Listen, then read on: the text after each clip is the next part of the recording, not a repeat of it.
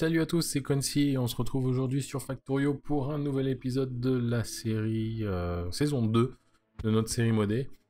Et euh, on continue aujourd'hui la, fabrication des différents acides. On avait fait l'acide fluorique et euh, chlorhydrique au précédent, à l'épisode précédent. Chlorhydrique, hein, pas hydrochlorique comme j'ai pu le dire tellement. Enfin, j'ai dit que ça d'ailleurs. La traduction française, c'est chlorhydrique. Voilà, donc le dis une fois pour toutes. Désolé à ceux qui l'avaient peut-être vu ou à ceux qui se demandent qu'est-ce que c'est que l'acide hydrochlorique? Bah, C'est tout simplement de l'acide chlorhydrique. Et on commence aujourd'hui par l'acide. Du coup, j'oublie. Euh, l'acide, l'acide, l'acide nitrique. Il me semble, oui. Euh, l'acide nitrique, donc euh, dans la première saison, donc l'autre, la, précédente usine, on avait utilisé euh, une sorte d'agriculture entre guillemets pour comment pour mettre en place pour avoir de l'ammonia. Là, on va utiliser à peu près, euh, on va utiliser quelque chose d'un peu différent. L'ammonia, on va pouvoir le faire à partir, il me semble, on va voir ça tout de suite après, euh, d'hydrogène et d'azote. Azote, ouais, c'est ça. Hydrogène et azote, azote qui se nomme en anglais nitrogène parce que pourquoi pas. Et donc, euh, ça va nous permettre d'éviter de refaire toute la partie agriculture, qui, même si est sympa, en fait, il y a énormément d'étapes de traitement, il faut produire les trucs, après, il faut transformer une fois, deux fois, liquéfier et tout. C'est pas super facile. Enfin, c'est pas, c'est, pas compliqué, mais euh, c'est un peu long.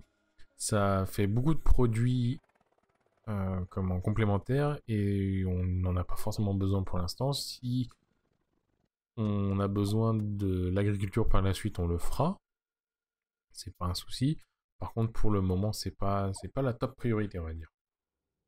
Et euh, on va essayer, parce que j'avais dit à l'épisode précédent qu'on allait mettre un petit coup de cravache pour avancer et euh, aller un peu plus vite. Parce que là, ça fait quoi? C'est le dixième épisode et on est encore, euh, on n'a même pas encore commencé à traiter les matériaux, donc là je vais mettre un bon coup de cravache aujourd'hui euh, qui, va nous permettre de bien avancer, vous verrez par la suite. Et normalement, prochain épisode, on pourrait commencer à avoir nos premiers, je dis bien nos premiers minerais, donc le fer, euh, cuivre, etc. je vais essayer de faire ça. Normalement, je devrais pouvoir commencer à faire ça au prochain épisode. Finir, c'est pas sûr, mais au moins commencer. Et donc là, euh, c'est tout simple. On avait de l'acide euh, nitrique, on a du quelque chose, euh, un produit à côté, quand je me rappelle plus c'est quoi le nom. Et là, on a du, ça doit être du dioxyde d'azote. Là, on a du monoxyde d'azote sur la droite. Et on a aussi de l'ammonia. Donc le bleu et blanc, là, c'est l'ammonia. Bleu et rouge, c'est le monoxyde d'azote. Et donc quand on met les le monoxyde d'azote devient du dioxyde d'azote par la suite. Et le dioxyde d'azote, on mélange ça avec d'acide sulfurique, ça nous donne de l'acide nitrique. Ou de l'acide sulfurique ou de l'eau de l'eau purifiée. Enfin, quelque chose comme ça. Et donc ici, donc pour que ce soit pour euh, le monoxyde d'azote sur la droite ou l'ammonia sur la gauche, en fait, il va nous falloir des, euh, des filtres, des filtres métalliques. Donc euh, pour le monoxyde d'azote, c'est de l'argent et de l'aluminium. Et pour euh, l'ammonia, c'est du cuivre et du fer. Donc pour l'instant, euh, c'est juste pour lancer le truc en fait. On va pas... Je vais pas comme un...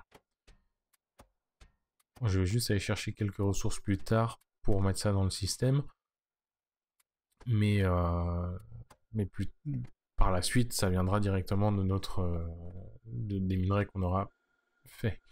Donc ce sera une sorte de boucle complète. Tout simplement. Et voilà, donc là on passe, on a fait ça. Donc pour l'ammonia, il va nous falloir, si je... Voilà, donc de l'hydrogène et de l'azote. Donc hydrogène, euh, l'azote, on va l'avoir en, comment, pareil qu'au-dessus, en fait, pareil que pour euh, l'acide euh, chlorhydrique on va voir ça en, séparant l'air compressé, donc en oxygène et en azote. Ça tombe bien parce qu'il va nous falloir aussi de l'oxygène pour euh, le monoxyde de le monoxyde d'azote et le dioxyde d'azote. Donc au final, on produit tout correctement, on aura juste un excès de, comment d'azote. On en avait déjà un excès plus haut pour euh, l'acide fluorique, il me semble, ou chlorhydrique, un des deux. Euh, et là, on en aura un peu plus. Quoique non, c'était même pas, pas l'acide, c'était pour l'acide sulfurique qu'on avait un excès d'azote. Là, on va aussi avoir un excès d'azote, mais on n'a pas trop de choix parce qu'il nous faut de l'oxygène aussi. Et l'oxygène, on peut l'avoir.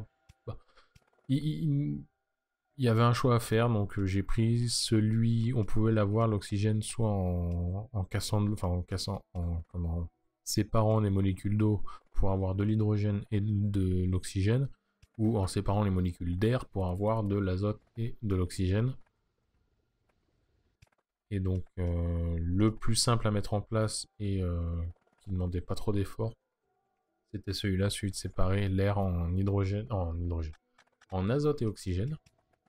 Avec ça, je vous, garantis qu'avec cette série, ça m'a bien fait réviser la chimie quand même. Ça faisait longtemps que j'en ai pas fait, mais euh, c'est impressionnant.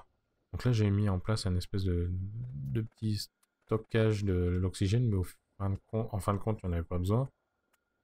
Euh, là, je regarde, c'est pour l'hydrogène. Donc l'hydrogène, on va aller le récupérer juste au-dessus.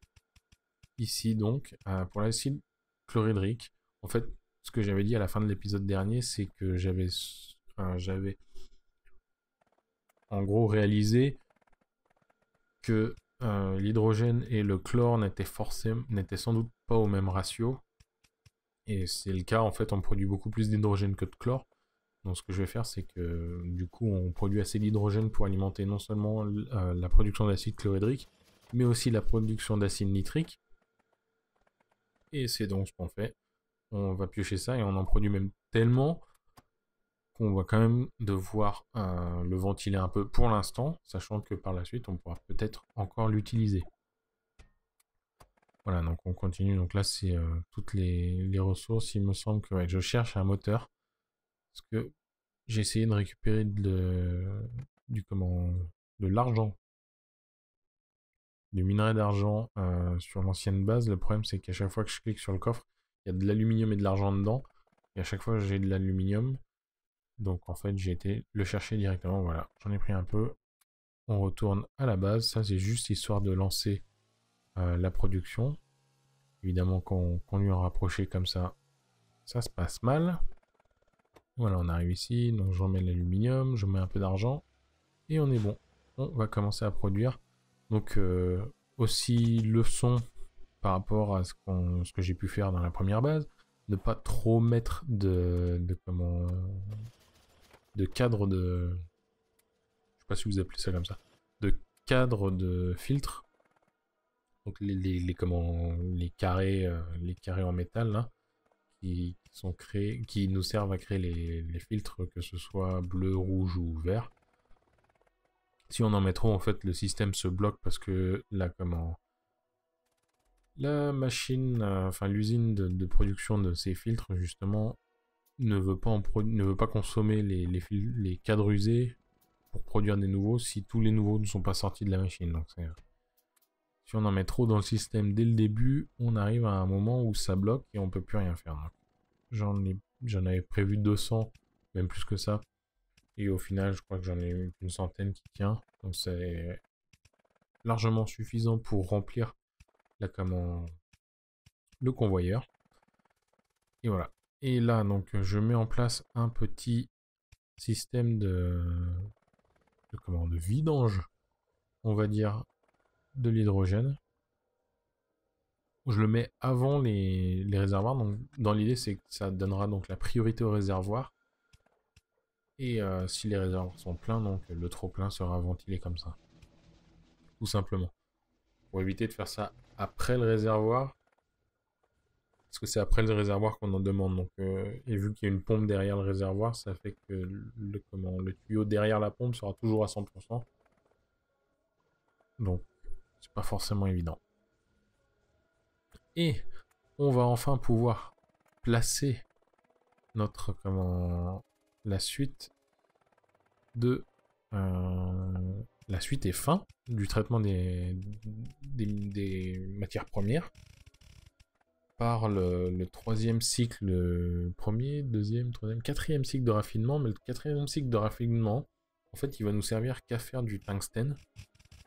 Et euh, pour ça, on ne va en utiliser que trois. donc la givolite en jaune. Le bleu clair, il me semble que c'est la styratite ou la saphirite. vous voyez, le jaune, bleu clair, et bombonium en, marron. Donc c'est ces trois-là seulement qui vont être combinés pour faire, euh, donc au niveau de raffinement 4, pour faire comme du tungstène. Donc c'est pour ça que je vais juste faire descendre ces trois-là. Et le reste va juste directement partir donc euh, pour la suite où ce sera raffiné et transformé en matériaux, enfin en matériaux, en minerais utilisables, utilisables et, euh, et on en a besoin. Je sais plus ce que je voulais dire là du coup. Voilà donc là bon c'est pas super intéressant, c'est de la pose de, de comment, c'est de la pose de convoyeur mais bon il en faut donc. Euh, on n'y coupe pas. Mais ça nous permet de voir et de finaliser enfin cette ligne de construction, cette ligne de, fabrication, qui euh, ça faisait un petit moment quand même, mais j'avais besoin de, comme je vous l'avais dit, d'attendre de mettre tous les tuyaux et de brancher tous les acides pour vérifier que tout se passait bien. Et voilà. Et donc pour ce cette dernière étape, donc quatrième étape de raffinement, euh, pas besoin de grand chose en fait, vu que c'est juste pour un seul euh, matériau qui est le tungstène, le minerai de tungstène. Euh, après calcul, on a besoin juste de 4 machines par minerai. Donc c'est plutôt simple, pas besoin que ce soit trop rapide non plus. Donc là, on se pose pas trop de problèmes. Euh, et en plus, ils sont utilisés qu'à ça, donc en fait, je vais même pas mettre de gros stockage derrière. Vu que le tungstène, on va en utiliser un peu, mais le tungstène, il sera surtout utilisé en fait pour faire des machines à haut niveau. Donc on en aura besoin euh, par la suite. On aura besoin du tungstène, mais pas énormément. Pas comme le fer, le cuivre ou, euh, encore même le titane. Le titane qui en, en a besoin d'un peu quand même.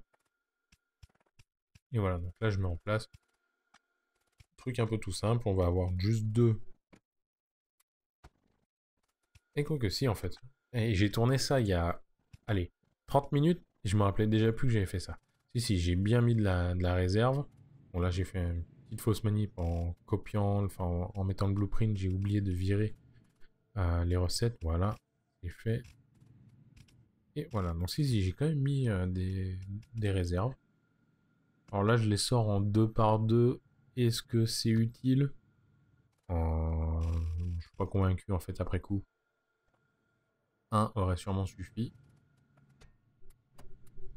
Mais euh, tant hein, on fera ça, on fera avec. C'est joli, donc on laisse.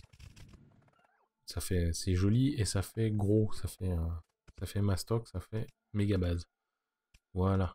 Et donc on a fini cette partie-là, mais c'est pas encore la fin de l'épisode, comme je vous l'ai dit, on va continuer un peu, on va essayer de vraiment avancer. Et là, on va s'intéresser aux catalystes. Catalystes, on en a trois types. On a euh, le marron foncé qui est le catalyste minéral. On a le, vert qui est du catalyste euh, cristallin. Et on a le orange qui est du catalyste hybride. Donc un mélange entre euh, combinaison de catalyste minéral et catalyste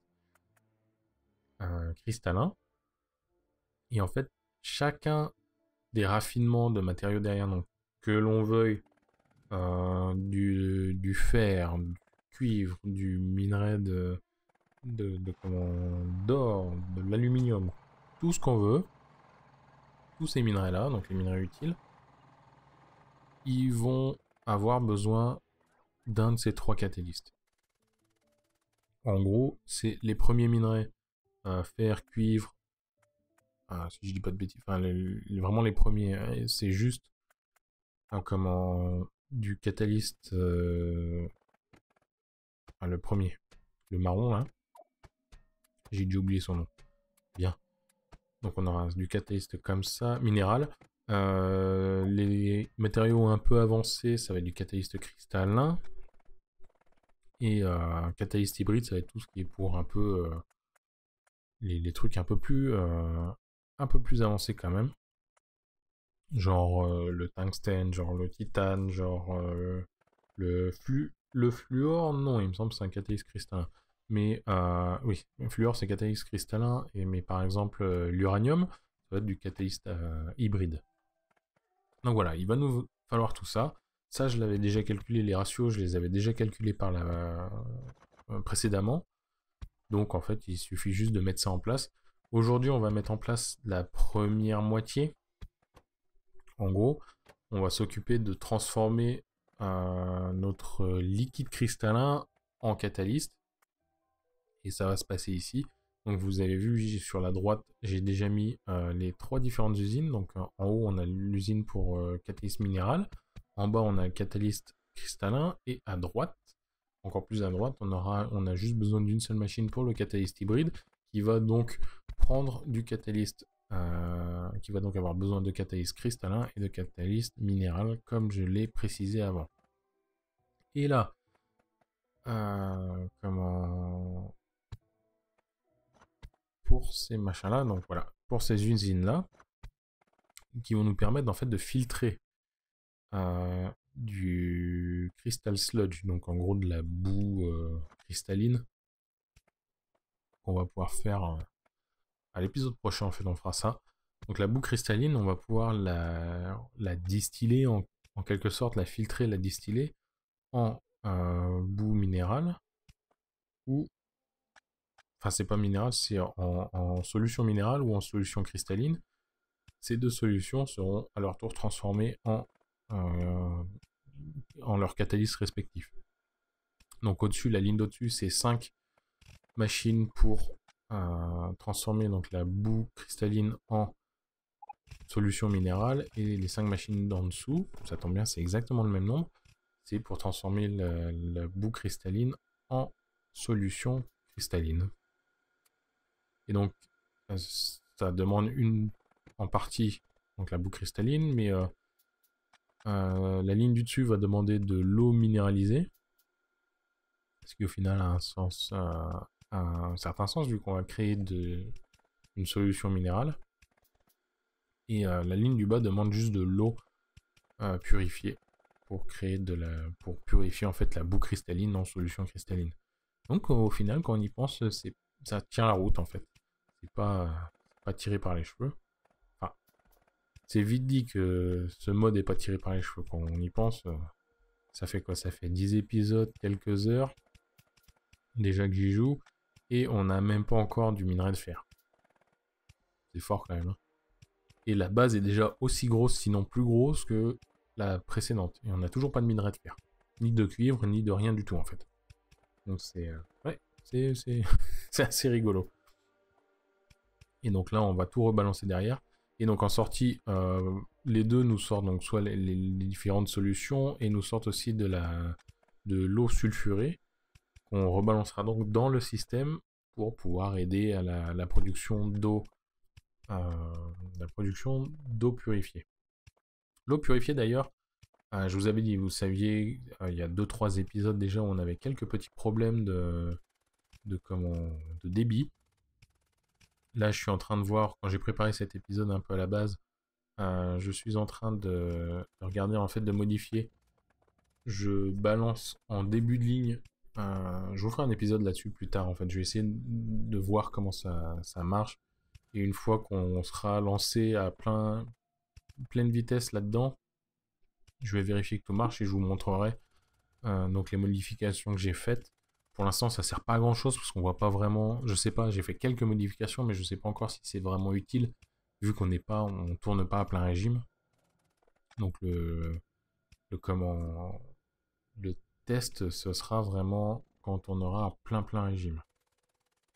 Mais on arrive à la fin de l'épisode et euh, on met donc juste en place le, comment, le nettoyage des filtres qui sont utilisés pour, euh, pour le filtrage des solutions. Et on va s'arrêter là tout simplement. Donc, encore une fois, merci d'avoir regardé cet épisode. Je vous retrouve donc pour euh, la suite où on mettra en place tout le système cristallin, le système de, traitement des, cristaux. Euh, et, voilà, donc euh, j'espère que vous avez apprécié. En tout cas, n'hésitez pas à lâcher des petits commentaires et à venir nous rejoindre sur le Discord. On est de plus en plus et ça fait très plaisir. Quant à moi, je vous retrouve donc d'ici quelques jours. Et comme d'habitude, en attendant, amusez-vous bien. Salut